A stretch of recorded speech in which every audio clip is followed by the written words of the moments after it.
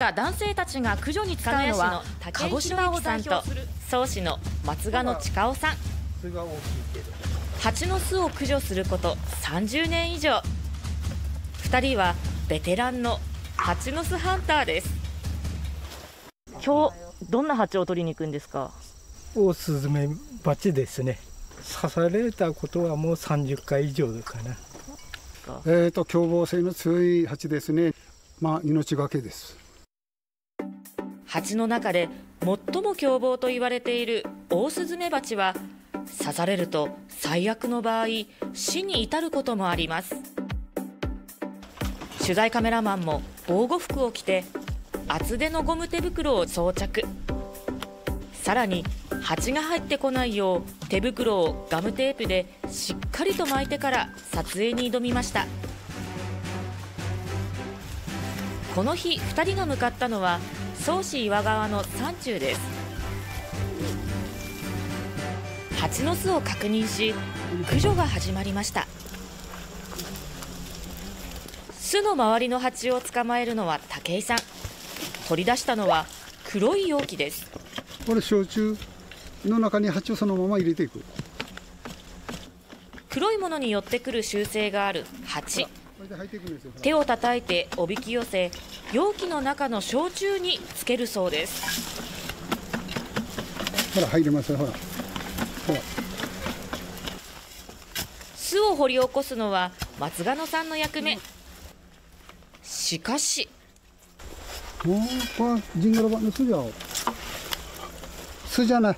餌とね子供たくさんついちゃうでしょ。このこれ取り餌取りに来てるんですよほらこの場所にあったのはスズメバチが餌にしている小さな蜂の巣でした。山の斜面をさらに下り再挑戦です。先ほどとは比べ物にならないほどたくさんの蜂が黒い容器に寄ってきます。斜面を掘って出てきたのは幾重にも重なった大きな蜂の巣でした。この日の作業を終えた2人。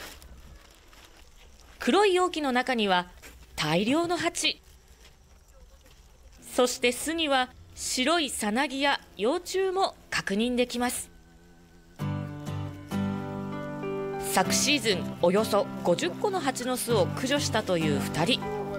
今年はすでに60個を超えているそうです。夏場に雨が少なく暑かったため蜂の巣が多いということです。なぜ2人は危険を冒してまで蜂の巣駆除をやっているんでしょうか？これは持って帰って食べます。焼いてですねそのまんま食べたり唐揚げしたり。美味しいですよ。プロポリスと高タンパク質とロイヤルゼリーを求めております。健康に一番大事なものをと取って食べてるんですよ。私も蜂の幼虫をいただいてみました。